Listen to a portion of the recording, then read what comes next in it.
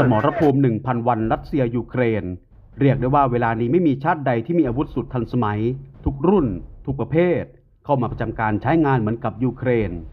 ล่าสุดรัสเซียเปิดฉากยิงขีปนาวุธข้ามทวีปครั้งแรกในยูเครน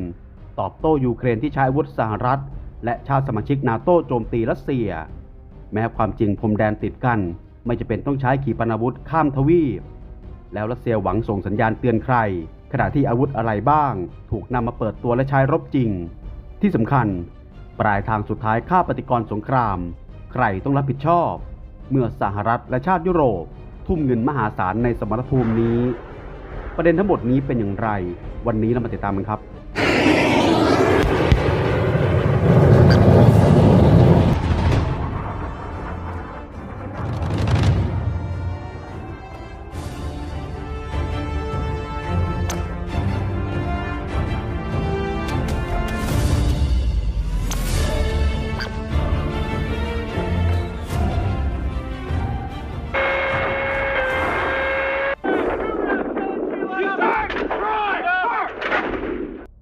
รัสเซียเปิดฉากยิงขีปนาวุธพิสัยไกลข้ามทวีป หรือ ICBM โจมตียูเครน ถือเป็นการใช้อาวุธชนิดนี้ยิงโจมตียูเครนครั้งแรก นับตั้งแต่สงครามเริ่มขึ้นเมื่อวันที่ 24 กุมภาพันธ์ 2565 โดยขีปนาวุธ ICBM ถูกยิงมาจากแคว้นอัสตราคัน ทางตอนใต้ของรัสเซีย เข้ามายังยูเครนจำนวนหลายลูก และกองทัพยูเครนออกมาระบุสามารถยิงสกัดได้จำนวน 6 ลูก ทั้งนี้การโจมตีของรัสเซียมีขึ้น ทันทีที่ยูเครนเปิดฉากยิงขีปนาวุธพิสัยไกล Storm Shadow ของอังกฤษ โจมตีแคว้นคูสก์ของรัสเซีย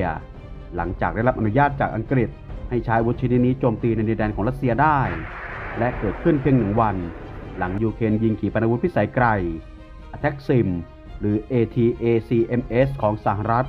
ถล่มแคว้นเบรียนสก์ของรัสเซียเป็นครั้งแรก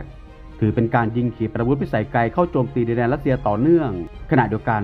รัสเซียออกมาเตือนว่าจะตอบโต้ชาติตะวันตก หลังอนุญาตให้ยูเครน ใช้ขีปนาวุธพิสัยไกลโจมตีรัสเซีย และย้ำว่าหากยูเครนกระทำการดังกล่าว ถือเป็นการยกระดับการสู้รบที่เพิ่มมากยิ่งขึ้น นอกจากนี้กระทรวงกลาโหมของรัสเซียอ้างว่า ระบบป้องกันภัยทางอากาศสามารถยิงทำลายขีปนาวุธร่อน Storm Shadow ที่ผลิตจากอังกฤษได้ 2 ลูก รวมถึงทำลายจรวด HIMARS จำนวน 6 ลูก และโดรนอีก 67 ลำ ที่ถูกยูเครนส่งมาโจมตีทั้งนี้การยิงขีปนาวุธ ICBM ข้ามทวีปของรัสเซีย เพื่อตอบโต้ที่ยูเครน ยิงขีปนาวุธที่ได้รับมอบจากสหรัฐและอังกฤษโจมตีเป้าหมายในดินแดนของรัสเซีย ถือเป็นการเตือนเหล่าชาติมหาอำนาจที่เปิดทางให้ยูเครนระดมขีปนาวุธเข้าใส่รัสเซีย ซึ่งขีปนาวุธข้ามทวีปของรัสเซียมีระยะยิงไกล สามารถเข้าไปในประเทศของสมาชิกนาโต้ทั้งสหรัฐอังกฤษและฝรั่งเศสได้เช่นเดียวกัน โดยเฉพาะเมื่อผู้นำรัสเซียมีการขยายขอบเขตหลักนิยมนิวเคลียร์ที่เปิดทางใช้นิวเคลียร์ตอบโต้ภัยคุกคามประเทศ แม้ชาติที่โจมตีจะไม่มีอาวุธนิวเคลียร์แต่ได้รับการช่วยเหลือจากมหาอำนาจที่มีนิวเคลียร์ครอบครอง นี่คือพัฒนาการครั้งสำคัญของสงครามรัสเซียยูเครนซึ่งมองว่าเป็นช่วงโค้งสุดท้ายแลกหมัดกันให้หนัก จัดหนักอาวุธทุกชนิด พื่อสร้างอำนาจต่อรองของแต่ละฝ่าย โดยเฉพาะปลายทางรัฐบาลผู้นำสหรัฐ ที่ตลอดการสู้รบสนับสนุนเม็ดเงิน และอาวุธทันสมัยทุกชนิด แบบที่ชาติใดในโลกก็อาจจะยังไม่เคยใช้อาวุธทันสมัยเหล่านี้ ซึ่งแค่สหรัฐประเทศเดียว ใช้เงินประมาณทั้งสิ้นมูลค่ากว่า 60,000 ล้านดอลลาร์สหรัฐ หรือกว่า 2 ล้านล้านบาท ทุ่มงบความช่วยเหลือทางการทหาร จัดซื้อและส่งอาวุธมอบไปกับยูเครนทำสงครามกับรัสเซียตลอดห้วงสมรภูมิ 1,000 วัน โดยอาวุธยุทโธปกรณ์เหล่านี้อาทิเช่น ช่วงแรกเริ่มของสงคราม สหรัฐและอังกฤษ ส่งมอบขีปนาวุธต่อต้านรถถังเจฟฟลิน และเอ็นลอจำนวนหลายพันลูก ถือเป็นการเปิดนวัตกรรมการสู้รบ ที่หยุดชะงักกองทัพจักรวรรดินิยมรัสเซีย ในการกรีธาทัพเข้ากรุงเคียบจนไม่ประสบผลสำเร็จ ขณะที่ระบบป้องกันภัยทางอากาศ ถือว่าอาวุธที่เป็นจุดเปลี่ยนของสงครามสมัยใหม่ คือโดรนโจมตี หรือโดรนกามิกาเซ่แบบสวิตเบด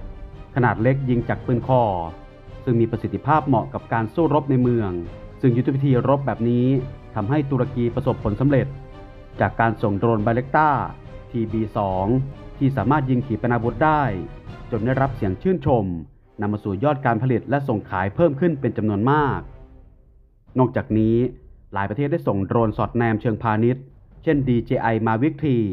ที่ผลิตในจีนเข้าไปในยูเครนด้วย เนื่องจากใช้งบผลิตไม่สูงมากนัก และประกอบเป็นอาวุธโจมตี และใช้ระบุที่ตั้งของข้าศึก รวมถึงยานเกราะของรัสเซียได้ ขณะเดียวกัน ชาติตะวันตกส่งระบบป้องกันภัยทางอากาศหลายประเภทให้กับยูเครน ตั้งแต่ระบบป้องกันภัยทางอากาศระยะสั้น หรือ Starstreak ของสหราชอาณาจักร เพื่อใช้โจมตีอากาศยานของรัสเซีย โดยเฉพาะเฮลิคอปเตอร์โจมตี นอกจากนี้ ยังมีระบบขีปนาวุธ Patriot ของสหรัฐ ที่มีค่าใช้จ่ายสูง เพราะขีปนาวุธหนึ่งลูก มีราคาประมาณ 3 ล้านดอลลาร์สหรัฐ หรือประมาณ 100 ล้านบาท ทั้งนี้สหรัฐและนอร์เวย์ ยังได้จัดหา NASAMS หรือระบบขีปนาวุธพื้นสู่อากาศชั้นสูงแห่งชาติสำหรับการป้องกันทางอากาศ ส่วนเยอรมนีได้เสนอจรวดนำวิธี IRIS-T มอบให้กับยูเครน นอกจากนี้ ยูเครนยังได้รับเครื่องบินสุดทันสมัย F-16 Fighting Falcon จากชาติตะวันตก อาทิเบลเยียม เดนมาร์ก เนเธอร์แลนด์ และนอร์เวย์ มอบ F-16 ซึ่งเป็นฝูงรบที่พวกเขาซื้อจากสหรัฐ และกำลังจะเปลี่ยนใหม่เป็นอากาศยานที่ทันสมัยขึ้น โดยได้รับการสนับสนุนจากสหรัฐเป็นกรณีพิเศษ เบื้องต้น ยูเครนหวังจะได้รับเครื่องบินรบจำนวน 65 ลำ หรือมากกว่านั้นภายในสิ้นปี 2568 ลดความได้เปรียบทางอากาศของรัสเซีย ขณะที่อาวุธหนักก็ถูกจัดเต็มในสมรภูมิ 1,000 วัน อาทิเช่น ปืนใหญ่และขีปนาวุธ หลังรัสเซียถอนกำลังทหารออกจากกรุงเคียฟสงครามมุ่งเน้นไปทางภาคตะวันออกของประเทศยูเครน ตั้งแต่นั้นเป็นต้นมา ทั้งสองฝ่ายต่างถล่มใช้ปืนใหญ่ และขีปนาวุธเข้าหากัน โดยชาติตะวันตกส่งปืนใหญ่กว่า 620 กระบอกให้กับยูเครน รวมถึงปืนฮาวิเซอร์ M777 ที่ผลิตในสหรัฐ ระบบขีปนาวุธจำนวน 82 ระบบ รวมถึงไฮมาส หรือระบบจรวดด้วยปืนใหญ่เคลื่อนที่คล่องตัวสูง และระบบยิงจรวดหลายลำกล้อง M270 ที่สำคัญสหรัฐยังได้จัดหาระบบขีปนาวุธ Attack Sim ATACMS รุ่นที่มีพิสัยการยิงไกลที่สุดให้กับยูเครน ซึ่งเป็นขีปนาวุธที่สามารถยิงไกลได้กว่า 300 กิโลเมตร และก็ได้เริ่มเปิดฉากใช้งานแล้ว ในวันครบรอบสงครามรัสเซียยูเครนครบ 1,000 วัน นอกจากนี้ยูเครนยังได้รับขีปนาวุธพิสัยไกล เช่น SCALP จากฝรั่งเศส และ Storm Shadow จากสหราชอาณาจักร ซึ่งก็ได้มีการเริ่มใช้งานแล้วในเวลานี้ และในช่วงเดือนกรกฎาคม 2566 สหรัฐระบุว่าได้จัดหาระเบิดลูกปราย หรือ cluster bomb ให้กับยูเครน เพื่อช่วยขับไล่กองกำลังของรัสเซียออกจากตำแหน่งป้องกัน อาวุธเหล่านี้ส่วนใหญ่ถูกบรรจุอยู่ในกระสุนปืนใหญ่ โดยจะกระจายลูกระเบิดย่อยจำนวนมาก หลังกระสุนปืนใหญ่ระเบิด ซึ่งมากกว่า 100 ประเทศสั่งห้ามใช้งานอาวุธชนิดนี้ เนื่องจากมีความเสี่ยงที่อาจจะเกิดขึ้นกับพลเรือน เมื่อมาดูอาวุธภาคพื้นดิน ประเภทรถถัง ถือเป็นอาวุธหลักช่วงการเปิดสงคราม โดยสหราชอาณาจักร ส่งรถถัง Challenger 2จำนวน 14 คัน สหรัฐส่งรถถังแอร์บรามจำนวน 31 คัน และประเทศในยุโรปส่งรถถัง Leopard 2 ที่ผลิตในเยอรมนีจำนวน 104 คัน รวมไปถึงรถถัง M1 เอบราม ที่ผลิตในสหรัฐ ซึ่งได้รับการยกย่องว่าเป็นรถถังที่ทันสมัยที่สุดในโลก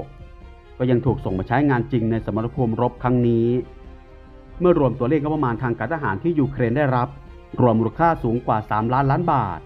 ประกอบไปด้วยสหรัฐจำนวน 2 ล้านล้านบาท หรือกว่า 60,000 ล้านดอลลาร์สหรัฐ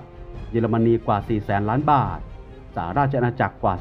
357,000 ล้านบาท เดนมาร์กกว่า 259,000 ล้านบาท และเนเธอร์แลนด์อีกกว่า 178,000 ล้านบาท ยังรวมไปถึงประเทศอื่นอีกจำนวนไม่น้อย แต่ทุกสมรภูมิมีราคาที่ต้องจ่าย ล่าสุดรัฐบาลไบเดน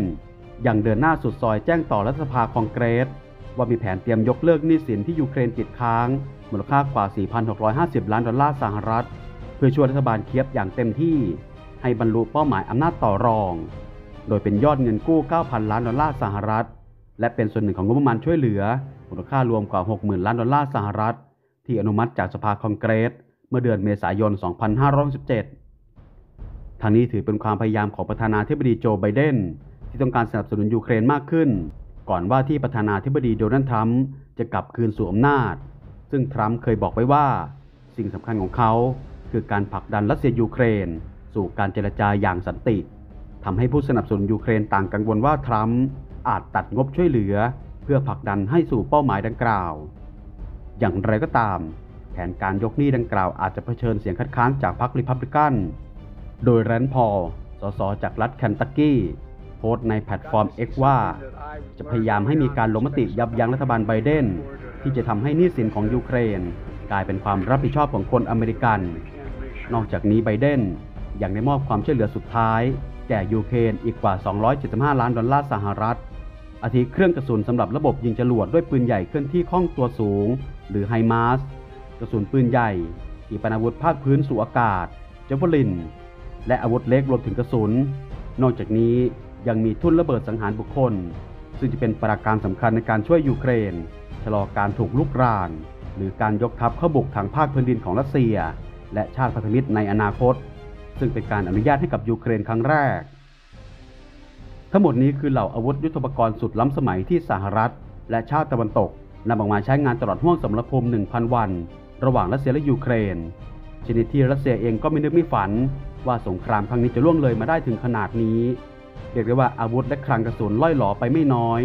จนต้องเดินสายขอความช่วยเหลือจากมหามิตร อย่างอิหร่านและเกาหลีเหนือ รวมไปถึงจีน บทสรุปของสมรภูมิรัสเซียยูเครน และค่าปฏิกรสงครามครั้งนี้จะเป็นอย่างไร อีกไม่นานคงได้รู้กัน